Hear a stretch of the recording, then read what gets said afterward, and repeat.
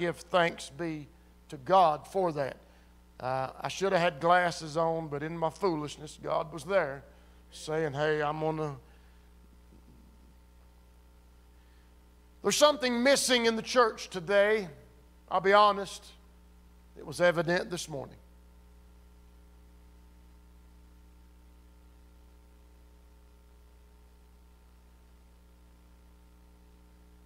There's something missing. Do you know what it is? It's the witness. We've seen a lot of trials lately on TV. We've heard about them or maybe heard somebody talk about them. We've seen famous trials through history. We can name them. We're not going to. And a key component to a trial is a witness. Hello? But the witness is missing in the house of God today. That's what I want to preach on. I want you not to hear Stan Asher. I want you to hear the Word of God. I do not preach my opinion, even though people think I do. I don't preach uh, something that I heard some guy on TV say. I simply preach the Word of God. So today I want you to hear and receive the Word of God. It may be different than what you believe today. But will you believe the Word of God? I'm just going to give you the Word of God today. Will you believe it? Romans 8 16. God wants to do something mighty in this place today. God wants to do something in your life. He wants to do something in this preacher's life. If you're watching online today, YouTube, Facebook Live, live stream, you, you, those that will watch later, God wants to do something in your life. Teenagers, God wants to do something in your life. Young people, senior adults, middle agers, the lonely, the married, the single people, rich, poor, short, tall. God wants to do something in your life today. If you'll believe, you can receive. Romans 8 16. The Spirit Himself, not another, the Spirit Himself bears witness I'm just making sure I'm reading out the right Bible. The Spirit Himself bears witness with our spirit that we are children of God. Most gracious Heavenly Father, Lord, I thank you for the privilege it is to stand before such a great people. But Lord, I stand here as a fallible, dying, broken man. I don't always have it together. And so, Lord, today, if you'd anoint my lips to preach like a man from another world, because this world's wisdom is not enough, it falls short and it's fading away. But Lord, it is the anointing of the Holy Spirit that destroys the yoke of bondage and sets the captive free, opens blinded eyes, brings redemption, reveals healing. It is the Spirit of the Lord. It's not by my might or by my power, but it's by your Spirit. So, Lord, I ask you today that your Spirit would have liberty to be a witness in this house. In Jesus' name. And everyone said, Amen. You might be seated in the presence of the Lord today. I welcome you to the house of the Lord. I'm glad that you're here today. Maybe you've never had this thought, maybe you have. But the Holy Spirit is a witness. A witness. Now, what is a witness? A witness is somebody that's supposed to bear truth, tell the truth speak facts. A witness is someone that witnessed an event firsthand and then recalls it. A witness gives knowledge. Maybe you've watched court TV or seen a trial on TV or you read about it. Maybe you were called as an expert witness. A witness is somebody that speaks and can be heard. A witness is somebody that gives knowledge, and a witness can liberate or confine. How many people had a brother or sister? Did they ever witness on you? Uh huh. They told on you. They might have told a lie. Or maybe you're here today and you're the parent of multiple children, and I, one of them wants to always be a witness. I can see Emily now. Daddy, Christian did this. You're a witness. You told something. How about friends? Anybody got a friend? Got one person, got a friend. A witness. Have you ever considered that the Holy Spirit is a witness? Maybe you have. I just had this revelation, even though I've read the Bible over and over. We just read Scripture. The Spirit is a witness. Imagine a court trial, and you're there, and your future and your freedom is on the line, but you have no witnesses. You'll lose. Hello? You'll lose. What if no one had witnessed certain events in history, we wouldn't know about it. Someone witnessed it and recorded it, you read it. Maybe the witness videotaped it, you watched it. How about that big achievement? Little Stevie hit the home run, won the ball game in T-ball. What if there was no witnesses? You know how fishermen are. Never a witness, but it was this big. I'd be happy, Brother Bruce, to catch one that big. Witness. Imagine the sporting event, the Yankees. Not a single witness, not a person, not a camera, not an eye, not an ear. Who would believe? a witness. A witness makes all the difference. A lying witness can ruin your life, an honest witness can set you free. Did you know you and I have been a witness? Every time we tell something that we saw, we are being a witness. We're speaking as a witness normally expert, right? We seen it, or we heard it, or we felt it. So we're going to tell it as a witness, and we're an expert in what we saw.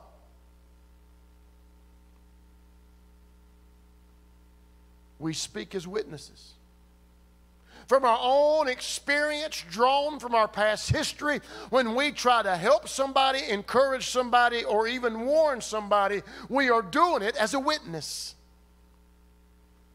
In ancient times and Bible times, something was established, founded, recorded, etched in history in the mouth of two or three witnesses. In Bible times, if someone accused you of murder, they had to find at least two witnesses. It would be established with three. 1 John 5 7, listen to what the Word of God says. For there are three that bear witness in heaven the Father, God, we know that. We know that God is a witness. His eye is everywhere. His ear can hear all. God's power is everywhere. God's spirit, his, his ability, his wisdom. We know that. Then we have the Word. The Word is a witness. The reason people don't read the Bible is they don't want the Bible to witness to them. But then there's the Holy Spirit as a witness. These three are one yet the three bear witness. Now, we just read and, and talked about these three bearing witness. God Himself established the law that said, In the mouth of two or three witnesses it shall be established. Let me stop and ask you a question Have you been established today? Has the three witnesses in heaven bore witness to you? Have you been established? By the Father, by the Word, and by the Spirit. I am under the belief that God always confirms His Word. There is a witness, His Word has been established. You can go to Genesis chapter 1 and read that later. But in Genesis chapter 1 and chapter 2, there was God getting ready to create, getting ready to speak life, getting ready to form, getting ready to hang stars, getting ready to scoop out oceans and carve out rivers. He was getting ready to cause grass to clothe the side of the mountain and cause creatures to come into existence.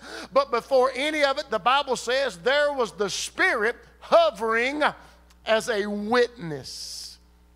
Since that moment, the Spirit, the Holy Spirit, the Holy Ghost has been a witness to every moment, every second throughout all, of history. Consider this the Bible was written by 40 different authors spanning the distance of 1,500 years. Some of these authors were shepherds, tax collectors, kings, scribes, slaves, fishermen, and prophets, most not knowing the other, yet they all confirm one another. How was it possible that 40 men spanning 1,500 years wrote scripture that is so perfectly woven together, each book confirming the other book? How? Because it was under the inspiration of the Holy Spirit, like John and Daniel. They saw into a future day. How were they able to see? How was John able to see 2,000 plus years into the future? How was Daniel able to see 3,000 plus years into the future and record in perfect prophecy many already fulfilled to the moment, to the day. How were they able to do it? Because the Holy Ghost was a witness. The Holy Ghost had already been into the future and it bore witness, and they began to pen the Bible. They began to pen prophecy. Moses, who wrote the first five books of the Bible, Moses wasn't there in the beginning, God. Moses wasn't there when Abraham was called out of the land of Ur. Moses wasn't there when the warning went out for Sodom and Gomorrah. But on Mount Sinai, where he spent 40 days and 40 nights, uh, the Holy Ghost was there. And the Holy Ghost said, I need to testify, I, I need a witness. Uh, and Moses, there under the anointing and the power of the Holy Spirit, penned the first five books of the Bible. It's amazing. The witness of the Holy Spirit was present at the birth of Jesus, at the baptism of Jesus.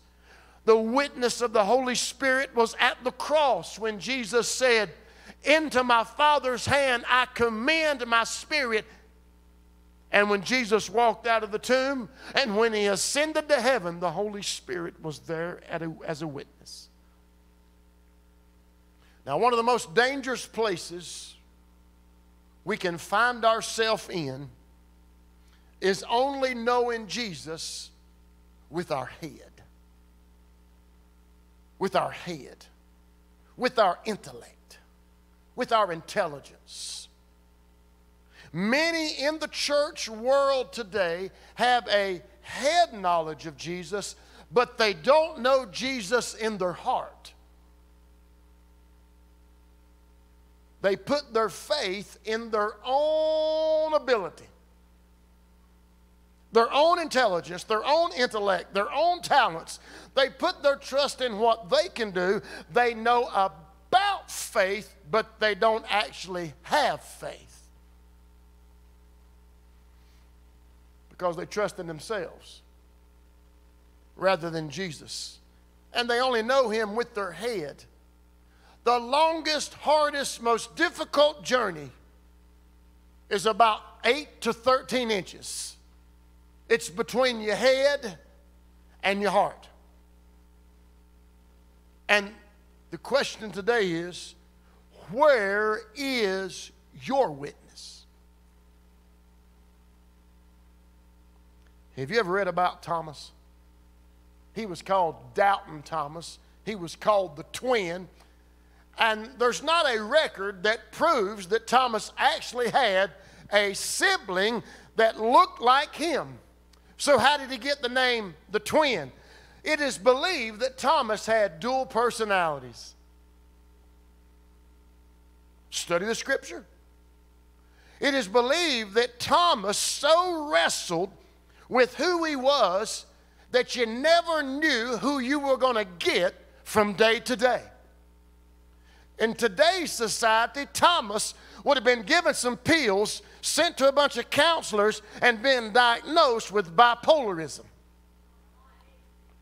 Because one day Thomas would be, Yeah, Lord, let's go. I got my sword, let's go conquer. And the next day, Well, we're going to go die. I don't want to go. Thomas was up, Thomas was down. Anybody been there? There would, there would be one day where Thomas would believe and he would be on fire for God. He would have lots of faith. But then a little bit of trouble would come. And, and then Thomas would be mad and frustrated and said, I don't believe anymore. And therefore, that is why theologians and historians believe that even in Scripture he was called the twin. And I would imagine that when Thomas was showing up at different events and meals, Peter and John probably went, Wonder which one we're going to get today. The complainer, negative, pity poor, all about me.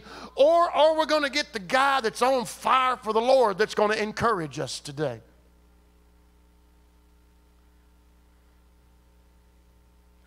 So here is doubting Thomas called the twin, up and down, in and out, high and low. Jesus has been crucified, he's been buried. And the disciples were having a prayer meeting. And suddenly, in that prayer meeting, the resurrected, alive Lord showed up. Can you imagine that prayer meeting? Can I stop right here and tell you if you want to see the Lord, have a hot, fervent prayer meeting. The most important service that this congregation has is on Wednesday evening, 7 p.m., when we gather to pray and to pray hot, fervent prayers. So the disciples were having a prayer meeting.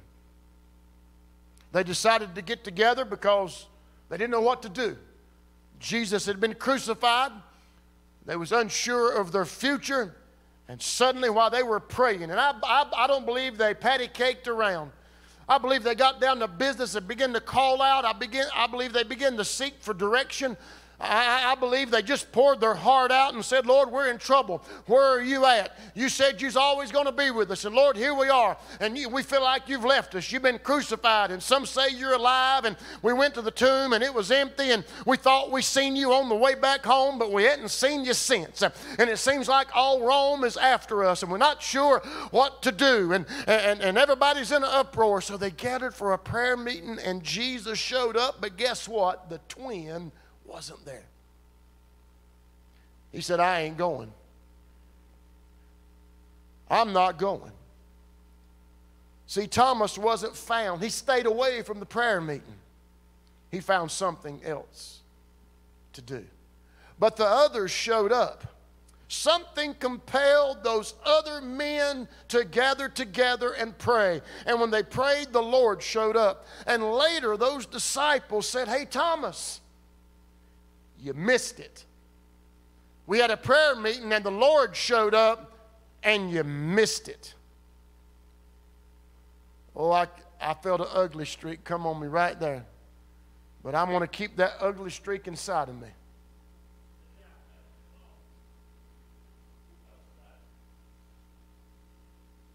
They said, Thomas, you should have been here. You should have been at the prayer meeting because guess who showed up at the prayer meeting? Jesus showed up. He showed up in spirit, might, and truth. He was there. In fact, he ate some fish with us after we had finished praying. He walked through the door and we thought it was a ghost, but then he ate a piece of fish and then he was there. And Thomas said, I don't believe it. Y'all imagine that. You had a dream. Thomas said, I don't believe it. It did not happen. I won't believe it until I touch his nail scarred hands And with my own eyes, I'm not going to believe it until I see the side that that Roman centurion pierced. I won't. But there's no way. It's impossible.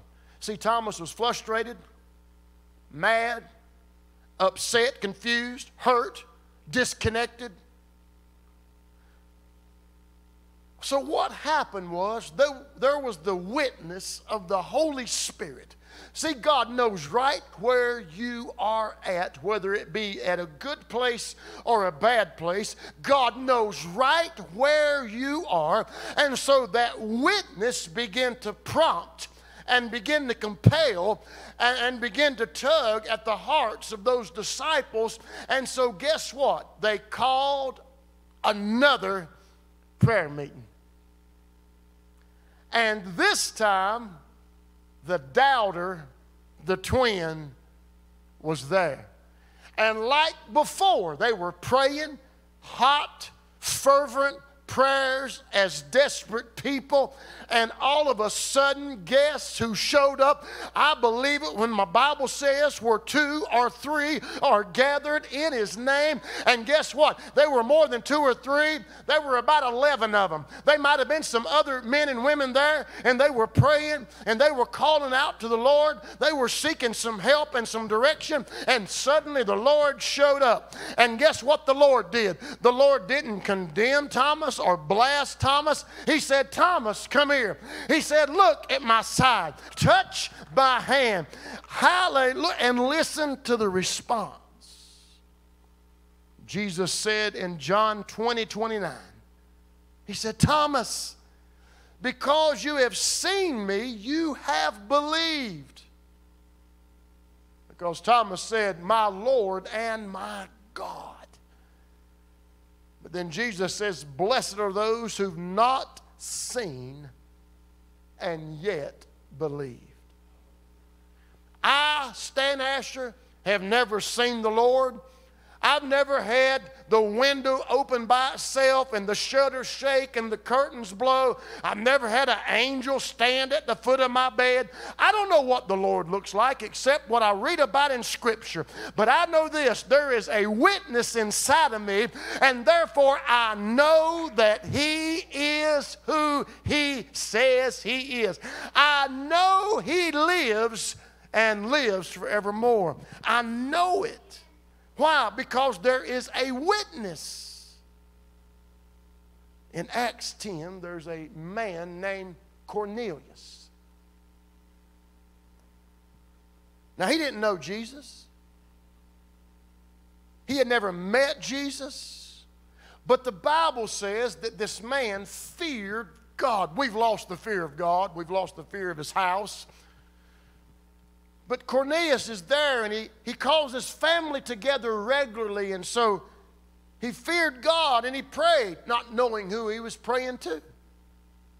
The Bible said he gave alms, he, he gave charitable contributions, he helped the poor. And one day there's a prompting in his heart. Remember, he didn't know Jesus. But he had a prompting. And that prompting one day, out of the blue, was to call a Jew to a Gentile's house. And Jews and Gentiles had no fellowship. And there was a prompting going in his heart. And that prompting said, Call for one Simon Tanner or Simon Peter.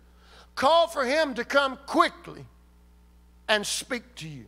Now, how did Cornelius know to call Simon Peter? Because there was a witness, and that witness spoke to Cornelius, and Cornelius obeyed. And while all this is going on, Peter's relaxing on the roof of his house.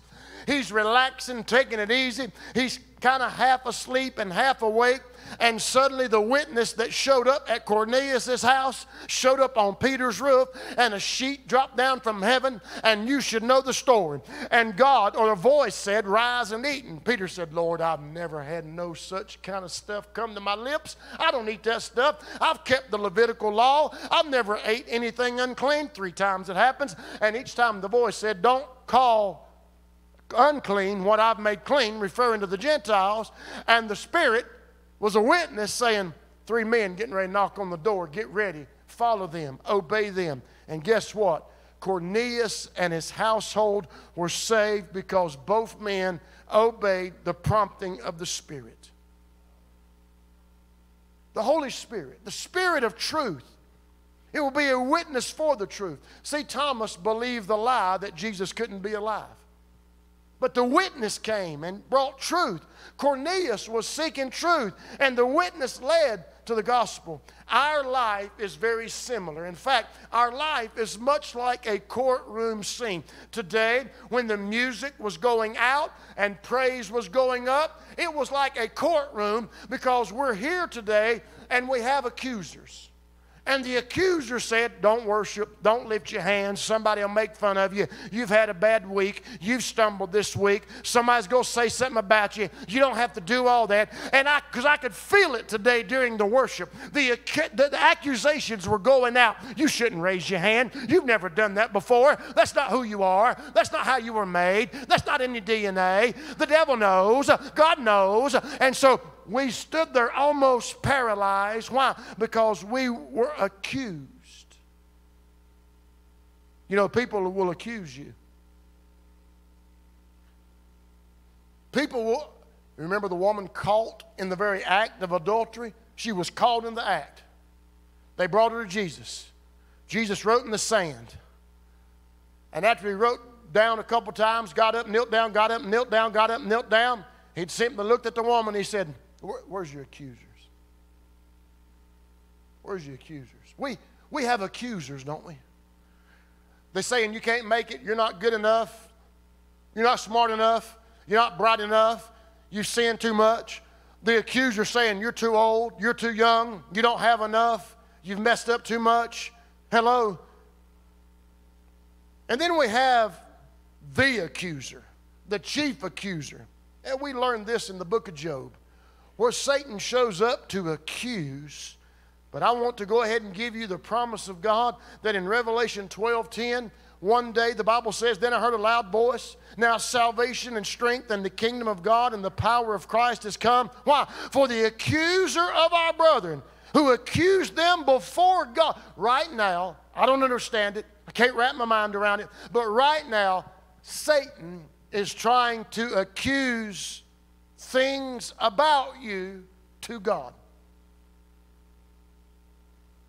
That's what the Bible says. I didn't say it. And there's going to be a day where God said, I've had enough of you. I'm going to cast you down. But in the meantime, if Satan is accusing things about you to God and people are accusing you, then where is your witness? Without a witness, you can't win. Where's your witness? We need a witness. So today, quickly, I got some questions that I believe that we must desperately, earnestly answer before we leave this place. Is the Holy Spirit witnessing to you, through you, for you or against you.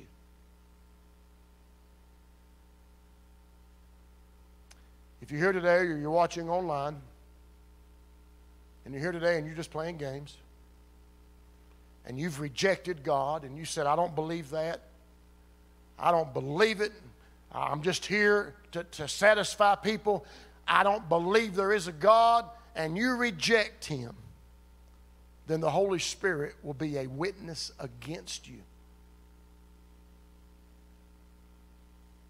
No, preacher, God's love, he wouldn't do that. I beg to differ.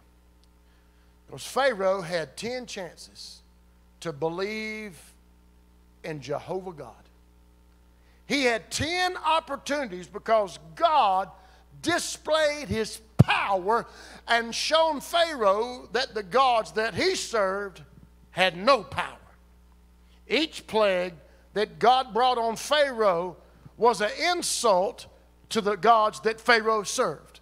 from the frogs to the lice to the red uh, to the blood in the Nile to the famine to the, to the pestilence uh, to the hail uh, to all. They, they were making fun. Pharaoh had 10 chances, but Pharaoh continually said, I'm not going to believe.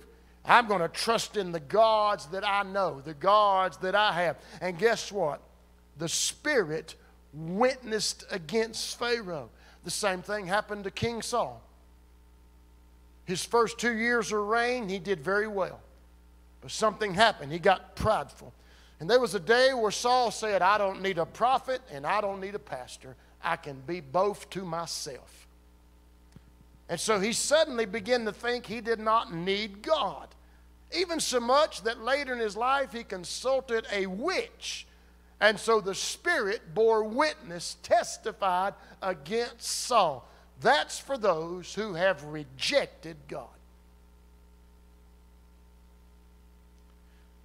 Now, if you're here today, you're watching online, and you're just not right with God, you've just put Him off for a later date, you got stuff you want to do. If you're here today and you've not been saved, you've not been born again, then the Holy Spirit is witnessing to you,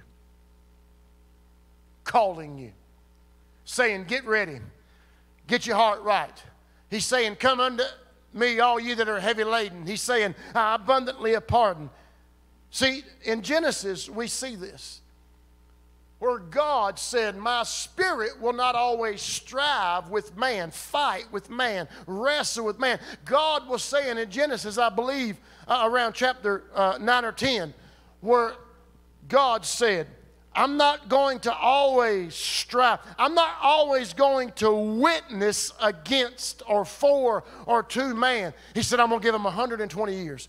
And you know what God did? God anointed a preacher who was also a carpenter. And for 120 years, the warning went out get ready, get ready. What was it? It was the Spirit witnessing, testifying, judgment's coming. The flood's coming. You better get ready. There's a way of escape. Get on the ark. Be here. Get ready. Come on board. But in 120 years, they didn't listen. So if you're here today and you're not right with God, you've never been born again, the Spirit is trying to testify and witness to you. Just like Jacob. Jacob just didn't want to get right with God. But the Spirit kept witnessing to him. Grabbed him one night and he wrestled with the Lord. And Jacob became Israel. But to the Christian, to the saint of God, to those here today and watching online, to those who are trusting in Jesus, to those who have surrendered their life to you, there is a gift, there is a promise See, up until the day of Pentecost, the Spirit witnessed above, the Spirit witnessed around, but there was a new day in Acts chapter 2 where God said, I want to tabernacle with my people. I no longer want to just witness above or witness around. He said, I want to be a witness in. And so, if you're here today and you're a Christian and you're a believer, there is a gift. It's the gift of the Holy Spirit, it's the inner witness of the Holy Spirit to those who have rejected, the witnesses against you. To those who are not right with God, the witnesses to you. But to the saved, the sanctified, the called, the elect, you can receive the gift of the Holy Spirit. There is an inner witness who witnesses in us and through us and for us. Well, why do we need this? I'm about ready to preach myself happy. If nobody else shouts, if nobody else believes it, but see, we have some accusers. And when the enemy shows up to accuse, accuse you, lie on you, tries to deceive and destroy you. If the Holy Ghost is living inside of you, then the Holy Spirit will rise up and be a witness and say, This is my child. They've been blood bought. You can't have them. And the Holy Spirit inside of you will begin to testify and be a witness and say, They're covered by the blood, they're washed by the blood, their names in the book of life. I got my hand on them they're forgiven. Oh, I can't get any help. I can't find a witness. The witness of the Holy Spirit to the saved will begin to proclaim they have power in my name. They have authority in the name of Jesus. So they can say, No weapon formed against me shall prosper. And the saint of God who's being accused and they're tired and weary and lonely and frustrated, that inner witness will begin to testify through and for and say, Greater is he that's in me than he that's in the world. That witness, uh, when we pray, when we've exhausted every word that we could possibly pray, when we, I'm going to be honest, you've never really prayed till you've prayed till you've ran out of words to say.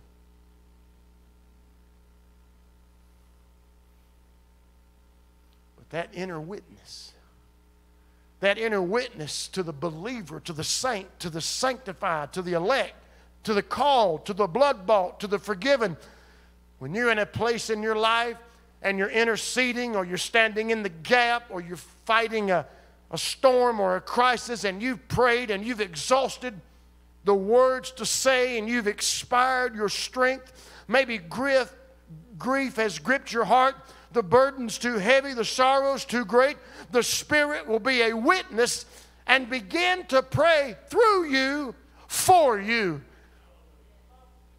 Oh, that inner witness will lead you, guide you, direct you. Romans 8:14 says, "For as many who are led by the Spirit are the sons and daughters of God."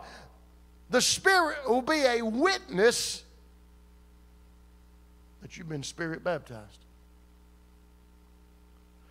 The Spirit will be a witness through and for us, giving us joy, giving us faith, giving us strength, giving us hope giving us courage, all the things the church needs today. When fear comes, I'm amazed by those people said, I ain't afraid of nothing. But over and over the Bible says, fear not, fear not, fear not.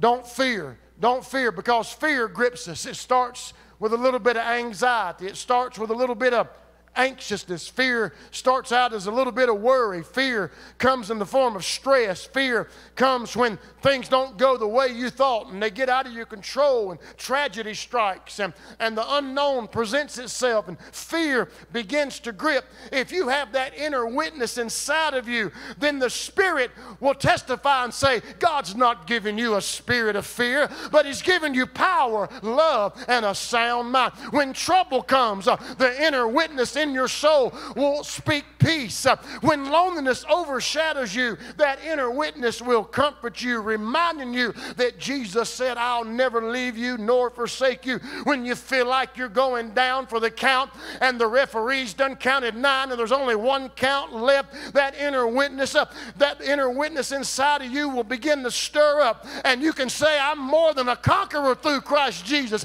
And you can rise from the ashes. Does anybody have a witness? Witness today.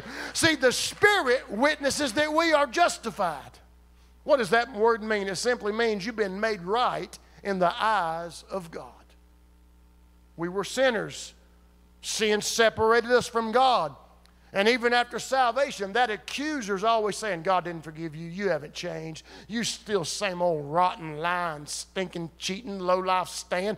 You're not really, you're going to backslide later anyway. You might as well go ahead and do it now. God don't hear you when you pray. You know, you ain't done enough anyway. You didn't, you didn't witness enough. You didn't pray enough. You didn't read enough. You didn't get that accuser.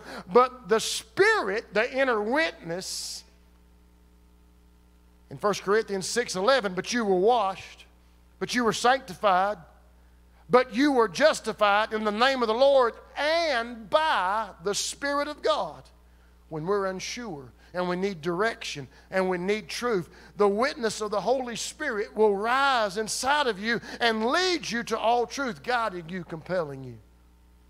When you're weak and all your strength is gone, the Spirit will be a witness that it's not your might, it's not your power, it's the witness of the Holy Spirit. Hebrews 10 15 tells us, but the Holy Spirit also witnesses unto us. Lastly, you know what a witness does? A witness speaks. A silent witness is in content. Did you know our whole judicial system is based upon the old Levitical laws and witnesses and being heard by a jury of our peers?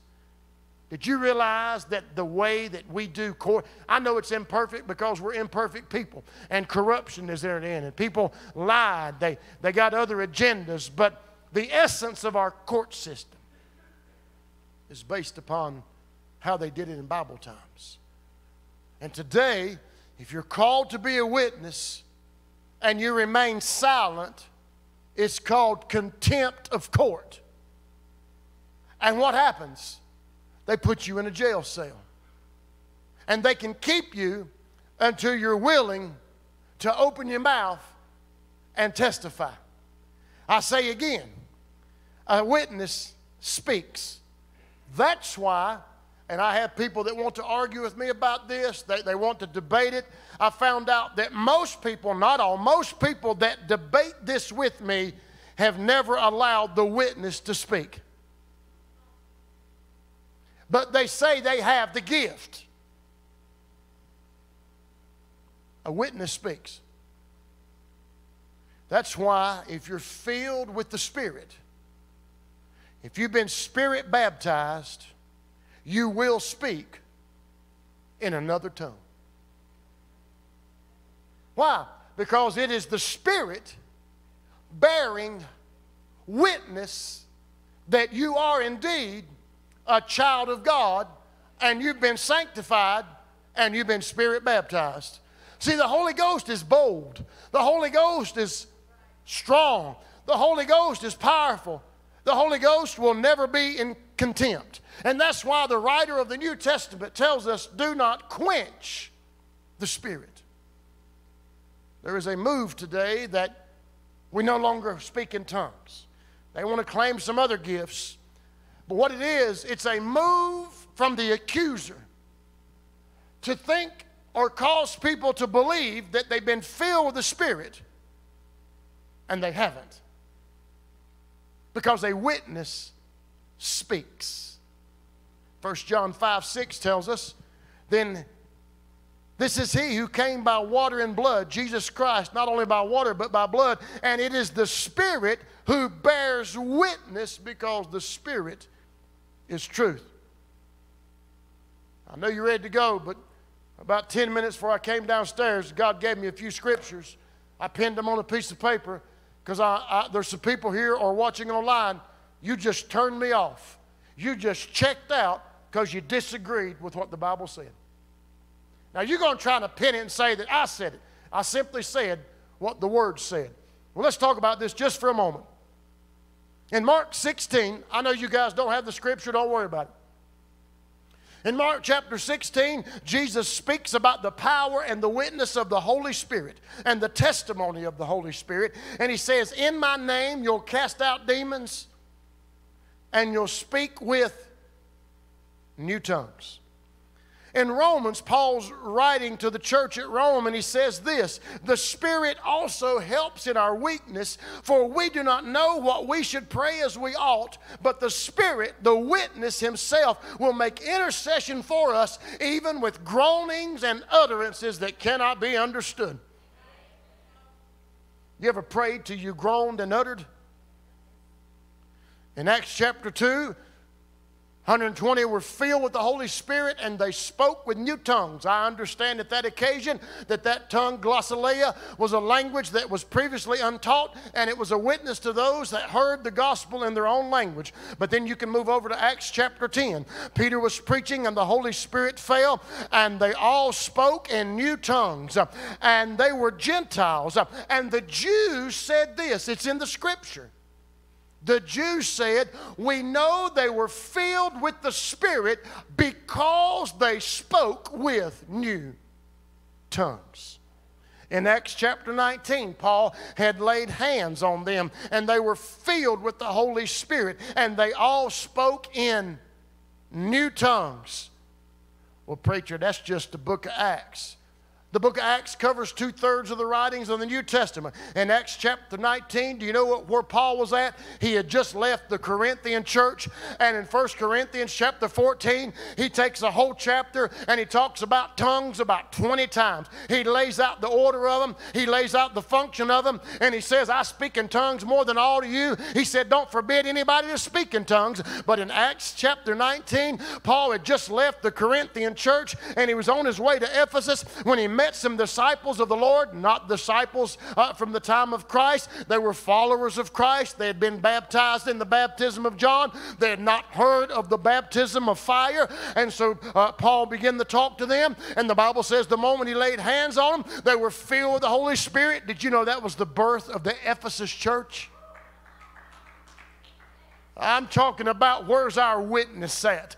Where's our witness? Where's the one inside of us that'll speak for us, cause us to raise our hand, cause us to drop to our knee, cause us to tell that waiter or that clerk or that bank teller that God loves them and has a plan for their life?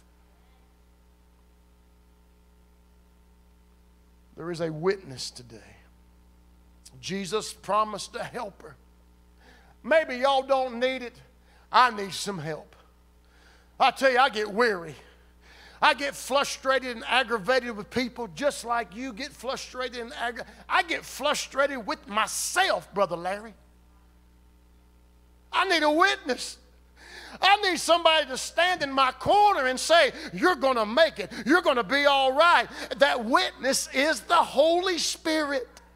Where's your witness at? Stand to your feet this morning as the music plays.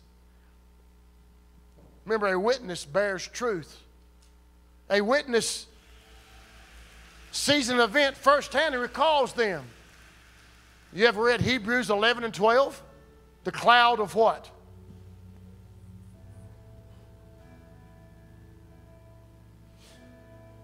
Sometimes we need to be reminded that if they made it, I think I might just be able to make it. For that one that's dying of cancer, that one that just lost a job, that, that one that their family endured death, that, that, that one that the spouse just walked out, that, that, that one that's all by themselves and they don't think they'll ever find a mate and they're ready to give up. They're ready to throw in the towel. They're ready to take pills. They're trying to find help and philosophy and ways of the world. If you would be spirit baptized, that inner witness inside of you would say, Come on, get up. One more step, one more step, one more step, one more mile. Come on. Oh, hallelujah. I wonder if anybody here today or watching online would say, I'd like somebody to be a witness for me. I'd like somebody to witness through me. He's available. He's available. He's available. If you're lost today, if you're not saved, you can be. Believe on the Lord Jesus Christ. Call upon the name of the Lord and you shall be saved. So if you're here today and you're not saved, you can be saved. If you're here today and you feel like you don't have a witness, God wants to put His witness inside of you. Maybe you've silenced your witness and you in contempt. You've been arrested by the lies of the enemy. You've been taken prisoner to your past. I want to tell you today shake those heavy hands, drop those shackles, walk down to this altar and say, Lord, I want that witness to speak again. I want that witness to speak again. Come on, church. Anybody? Anybody? Anybody need a witness? Anybody need a, a fresh word, a fresh witness? Come on. There's power in the Holy Spirit. There's strength and direction there's an anointing, there's a covering. God said, I'll speak for my children. He's waiting on His children to invite Him in so He can testify for you and through you.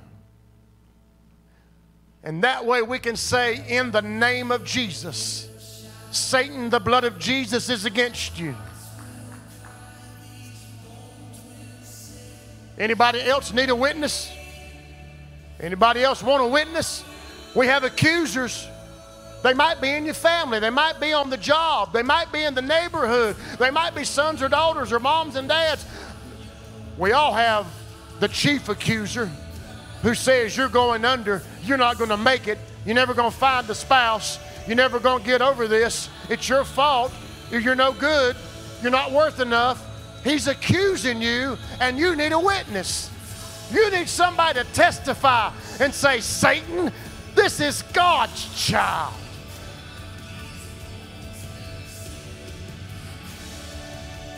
Oh, oh, you are great, Lord. So much that you put an inner witness inside of us who will pray for us, lead us, guide us, direct us, lead us to all truth. Oh, come on, church. Come on, church. Lord, we need a witness. We need a witness, Lord. We don't want the witness to testify against us. We receive the witness testifying to us. But Lord, what we really desire is the witness testifying through us and in us. Oh, Father, fill your people today. Baptize them with the Holy Spirit, fire. Lord, let that inner voice, that witness, testify. Testify that I am a child of God. I have been blood bought. I'm on my way to heaven. That I am going to make it. That though a thousand may fall by the side, I'll keep standing. Oh, come on, church. Let that inner witness testify.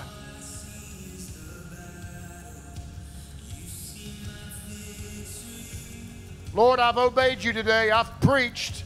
I've done what you ask. And so, Lord, here we are, the time where we take all that we've heard, all that we've witnessed, uh, and we either apply it to our life or we do not. But Lord, today we choose to apply it. Lord, we want to be, Lord, we want you to be a witness in us. Come on, church. There's others that God wants to spirit baptize today.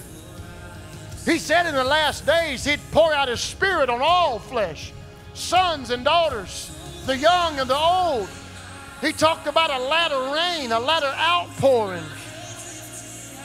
Man, if God's blessed you for a second, you ought to give Him some praise.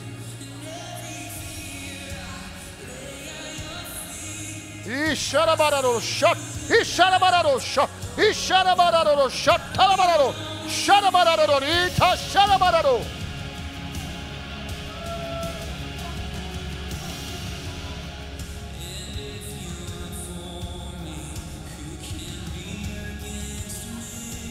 I know everybody don't understand. I don't understand at all. But if you'll just trust God, if you'll just trust Him, if you'll rely on Him, He has an inner witness that'll testify of Him through you and in you.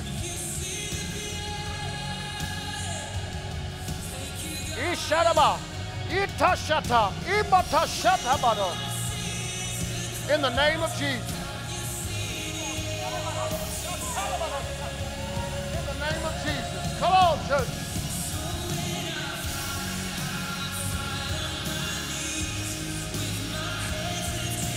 Oh, yes. In the name of Jesus. In the name of Jesus. Lord, give her that inner witness, God. Oh, Lord. Oh, the enemy comes to fight and wrestle. Lord, let that inner witness arise. Let that inner witness arise, Lord. Oh, Father, Lord, testify for us.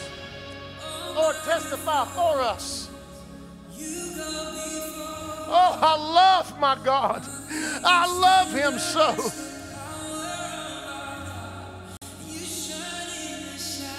I got to remind us this isn't our home. All this political mess, economic mess, social mess, all the racism, all the hate, all the lies, all the perversion, all the trouble. This isn't our home. Sitting at home. We get focused on this life, in this place. We need to let that witness testify. Let not your heart be troubled. You believe in God, then believe in me. For in my Father's house are many mansions. If it were so, I would have told you. He said, I'm going to prepare a place for you.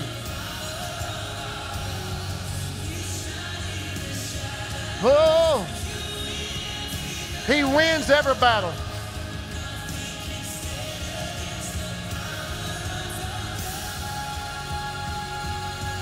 Oh,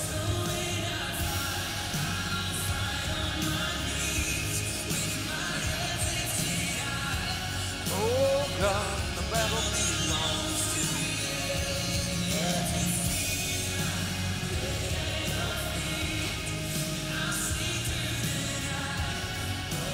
Hold your hands out. Arm out. Arm out, each hand. Arm out. Can I get a couple ladies to help me pray? She has two dear friends. Now we get we just preached on the witness. Now these two ladies that she's standing in for that we're going to anoint prayer call, they need a witness. Because cancer's returned and One's been given a death sentence because of cancer. But there's a witness. There's a witness that said he'd never leave nor forsake. There's a witness that said, by stripes we are made whole. There's a witness that says, Lo, I'll be with you always. So we're going to anoint these prayer cloths today. Father, in the name of Jesus, Lord, there's no power in the cloth, there's no power in the oil. It's just a point of contact. It's a sign of faith. It's a symbol. It's a symbol, God, that we believe that there's a witness that knows no boundaries. Walls can't contain the witness. Oh, Father, I pray right now, God, that you would go to each, each one of these ladies. Lord, you see the prognosis and the diagnosis. Lord, I pray, God, that you'd bring healing. Now, Lord, we don't know if that's the ultimate healing or healing here. But we simply pray your will be done. We pray joy comes. Lord, we pray miracles take place. Oh, Father, we pray that they bear witness and let the witness speak through them. In the mighty name of Jesus, God. But Lord, we're going to ask you for healing because we like living. You're the God of living and not God of dead. Above every name. And we praise you and thank you. Anybody else need or want prayer before we leave this place?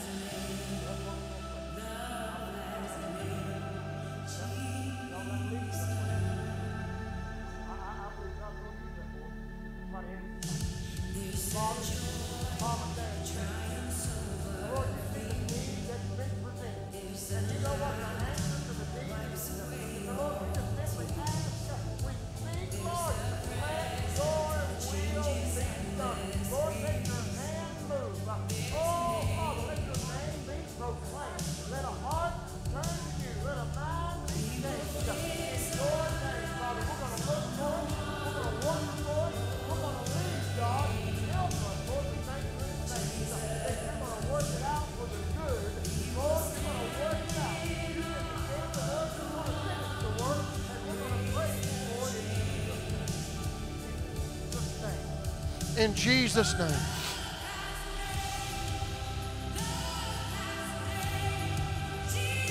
Anybody else need or want or desire prayer?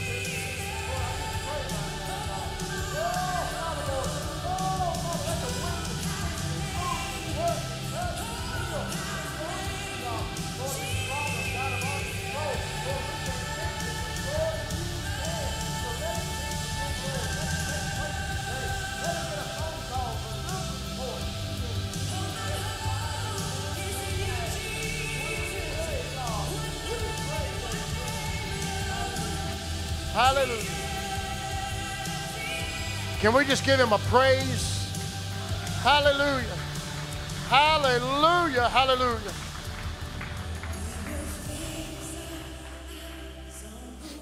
I know you're hungry. We just have two services a week Sunday morning and Wednesday. But may we leave this place, may we ever consider that we need a witness. We need a witness. God has provided. Why do we need a witness? Because we have accusers. We have the chief accuser. And honestly, we accuse ourselves more than any other. So God has provided everything we need the comfort, the hope, the forgiveness, the access, guidance. So if we'll just hold on a little longer, we'll make it home. I believe that. Father, we thank you that you didn't leave us without hope. And Lord, you didn't leave us here to defend ourselves by ourselves, but you gave us a witness. Holy Ghost witness. Holy Ghost power. And so, Lord, the three bear witness the Father, the Word, and the Spirit. The three are one. And Lord, the Spirit bears witness that we are children of God. So may we ever allow the witness to speak through us and for us. Now, Lord, go with us and be with us. Give us a day of rest. Bring us back next, this Wednesday, to pray and to seek your face. In Jesus' name. And everybody said, Amen. Oh, it's been good to have been in the house of the Lord today. Be blessed. Have a wonderful Sunday afternoon.